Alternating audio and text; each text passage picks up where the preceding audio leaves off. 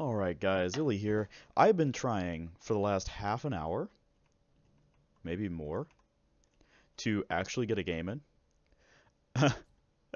so I apologize if I've only got one game to upload because I I've been trying real hard, but the first two that I played, my sound was all buggy, so I couldn't actually get.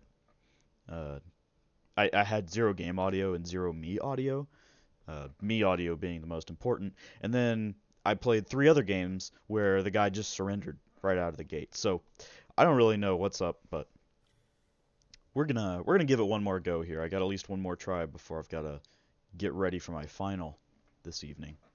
Um, but either way, I'm playing a buff Freya, which uh, has already been pretty proven. Um, it already works. We know that. The uh, the question is, to what degree does it work?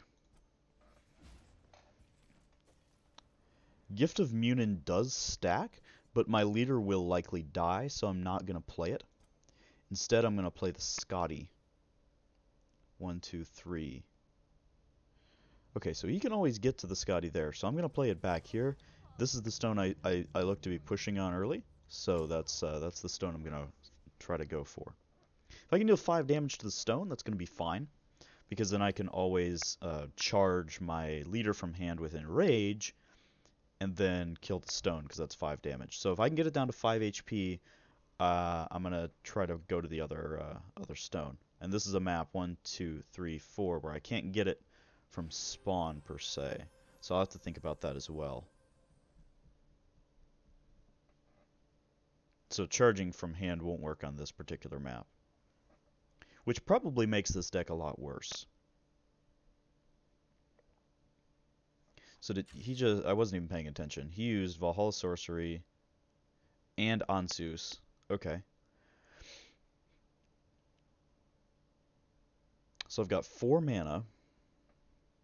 Scion of Doom wants to be used. I mean, regardless, this is happening. So now the real question is, do I Calder Soul or do I Scion Calder?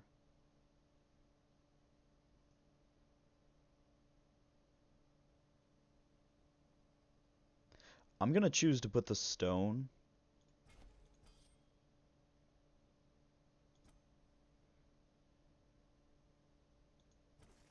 at 4 HP which is relevant because that's turn that can turn into a 2-2, and then um, that will do 2 damage as well.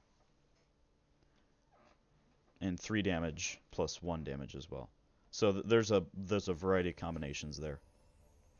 As well as the soul coming out for 1 damage onto the stone, and then the leader auto for 3. Um, but my my opponent here has gone for a super slow hand. Like he's got a lot of cards, but that card advantage doesn't mean too much right now. So he's going to have to speed things up a bit if he wants to win.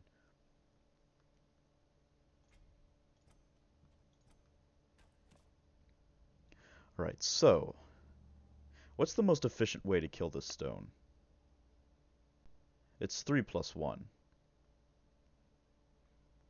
So Soul is coming out and hitting that stone there. Now Skadi will hit the leader. Doge bites the stone. And then